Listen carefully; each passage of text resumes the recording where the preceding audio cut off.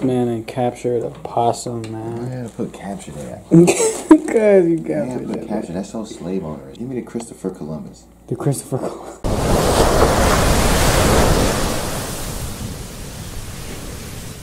He literally picked up a possum from outside. I discovered it. as a possum in his cage right there. You discovered it, huh, bruh? I'm Christopher Columbus. I get a holiday. What you about to do with this? What you about to do with him, bro? Nothing. Shit. You just talk, you talk bold. I do not know where my bro got the nerve to pick Wow, up a possum way more off of the street. Just a was going to random possum, but he did. And look at this thing. Hey, man.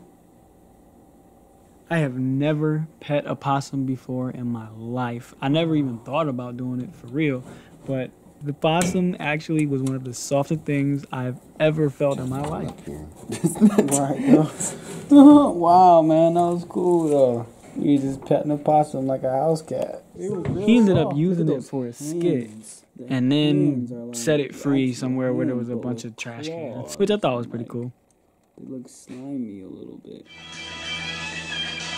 All right, now that it's time to train, I'm gonna give y'all the info on what's happening right now. Ron agreed to fight somebody who fights in this local boxing thing. The dude outweighs him by a lot.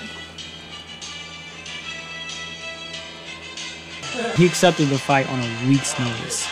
That is not typical, and it is not something that I would recommend.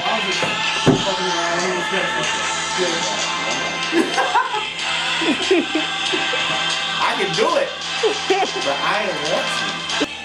And like I got so many skit ideas and stuff I want to do. I'm like, yo, it'd probably be healthy for me to take my mind off of it. But it just consumed me. It's because I I was so afraid when I seen it. I was so scared that, like I said, I was. He actually told me that that was why he had to fight him.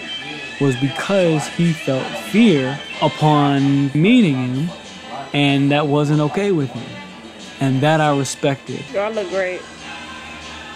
What'd you say? Y'all look great. Feel lazy looking at y'all. Yeah. you welcome to come get some stretches in if you want. I got a long way to go before I get that flexible. I feel the pain later. Well, shit. Whatever you start, wherever you at. Don't you know? How your back feel now?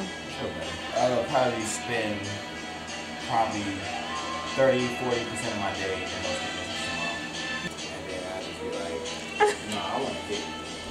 face, bro. I want to hit Wow. Real tight. Touching you, everything is moving tight. Because what's gonna happen, he's a retaliator, you know what I mean? If you just at him, right, he's gonna swing. Ah! Yeah, right. He's gonna start firing. And when he fires, it's not gonna be some super coordinated, you know what I mean? It's gonna be ah! You know what I mean? I need you to understand this right now. It's okay if you eat a punch. You stay tight. That's when you need to stay comfortable. When you take a punch. I had to get in his head right here. I needed him to understand that if he eats a punch, it's okay if he does, as long as he stays calm, he's still gonna win. Because he's got more stamina and he's faster than the dude. Yes. I needed him to understand though that he might get hit, and if he does, it's okay. Stay calm, keep fighting, stay in the fight. And that's what I need you to do as soon as you get out there. Is put the respect on this motherfucker. You don't need to be worried about hitting him hard. It's just hitting. It's just making work. And it ain't, you ain't gotta be doing the whole time. Boom. That's right there. Move again. Boop, boop, boop. And then you're moving again. I see the headshot and the body open, preferably the body. Man, it, it, if, if his chin is right there, take his chin out. But that's not game plan. That's not what you want to focus on going into it. We focusing on eating his body because it's going to break him down. Boom. Boom, boom, boom. You know? Catch him and move. Keep your head moving. Yep.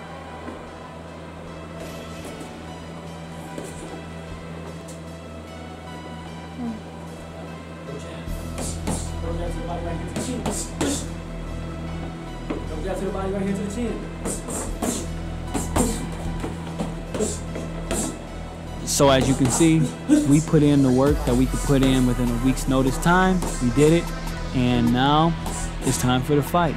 So stay tuned.